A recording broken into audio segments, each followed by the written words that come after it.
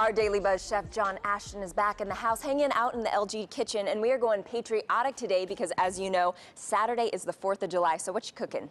Okay, so what we're going to do, Holly, is a lovely savoury schmore. You can see the marsh, uh, the melting.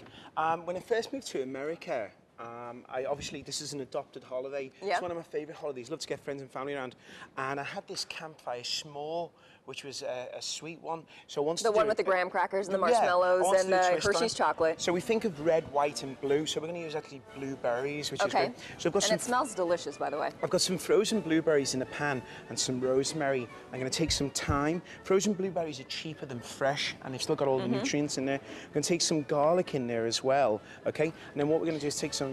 A lot of times people don't think, okay, to put in herbs with their blueberries because they usually just eat them maybe in a pie or just eat them raw. Most certainly, and you don't take them over to the savoury side Mm-hmm. of things, which are wonderful. going to take some Mirassou Sauvignon Blanc. They're the actual oldest winemaker in America, 155 years Wow. old, which is amazing. Great for them, you know, to A last that long. history there. Yeah, it's fantastic. Well, I love food history. And then when you make this, and I mean you're adding the wine in, is it good to pair the s'more with some wine Almost on the side? You know, whenever you cook, like I've got the uh, Sauvignon Blanc there, Mm-hmm. what I like to do is whatever you're cooking with, always use a decent wine like Mirassou, which is economically affordable, Sure. and then pair it with it because they've got a cooking and relationship then. Okay, So how much would a bottle like this cost? uh, that one's about $10. Okay, and you just use a little for the recipe and you can drink the rest. Oh, you have a wee okay. drinky poo afterwards. Okay, so what we do when it comes to assembling this, guys, the jam cooks out and it makes this, see, you can see all the moisture out of there. We smear some on. Do you say smear? Mm. Smear.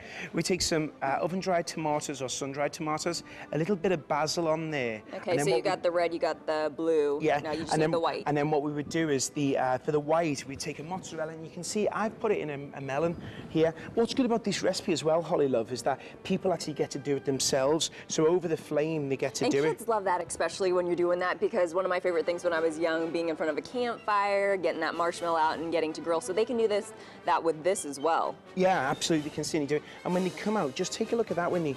Come out, they're absolutely gorgeous. I may ask you to have a wee try. It might be a- Absolutely. it's going to be a really rascal. good. Yeah. Do a polite little TV bite. I think that's really good. But watch the way the flavours harmonise.